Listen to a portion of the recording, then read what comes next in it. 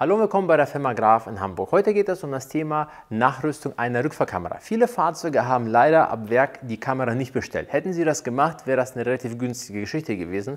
Aber man kann auch eine Kamera nachrüsten. Dabei gibt es verschiedene Möglichkeiten, wie man das nachrüsten kann. Es gibt eine Zubehörlösung von verschiedenen Herstellern, die man nachträglich einbauen kann. Diese Systeme sind an sich nicht schlecht. Man muss immer natürlich gucken, es sind Aftermarket-Systeme und die können natürlich auch technisch nicht so gut sein wie ein Originalsystem, was millionenfach in verschiedenen Fahrzeugmodellen eingebaut wurde. Daher, wenn man die Möglichkeit hat und die finanziellen Mittel, würde ich immer empfehlen, eine originale Nachrüstung zu machen.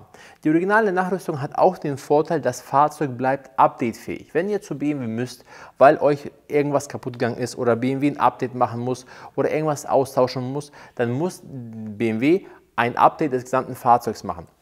Wenn ihr dann eine originale Kamera habt, dann ist das die Kamera nach dem Update immer noch funktionsfähig. Habt ihr ein Zubehörsystem, dann geht die Kamera nicht mehr. Dann müsst ihr zu dem Einbau zurück und dann muss das entsprechend wieder kodieren.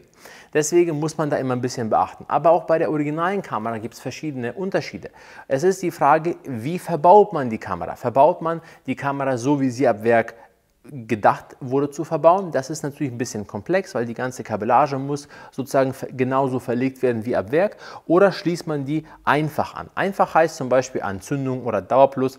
Dann hat man natürlich das schnell gemacht, aber man hat das Problem, dass irgendwann man äh, Probleme bekommt mit der Fahrzeugelektronik. Denn die ist sehr komplex. Natürlich haben wir überall die ganzen Campusleitungen, natürlich haben wir überall Strom und Zündung, aber äh, wenn man das so verbauen möchte, wie es ab Werk gedacht ist, dann ist das natürlich ein bisschen komplexer. Daher muss man natürlich immer halt schauen, was möchte man und wie viel möchte man investieren. In dem Fall ist die Kamera so verbaut wie ab Werk, das heißt an die Stelle, wo, wo sie sozusagen auch gehört und die funktioniert entsprechend halt, wie sie ab Werk auch wäre. Das heißt, wenn wir zum Beispiel das Fahrzeug starten, brauche einmal den Schlüssel.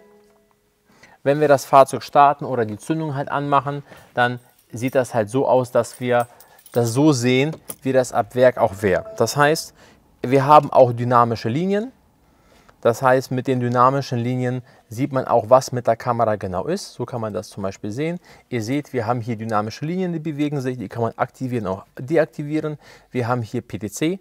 Je nachdem, welches Baujahr ihr habt, ist das Navi unterschiedlich. Bei manchen ist PTC auf der Seite, die Kamera hier. Und so ist das integriert, wie es ab Werk gewesen ist. Das Fahrzeug ist entsprechend halt komplett updatefähig und es funktioniert.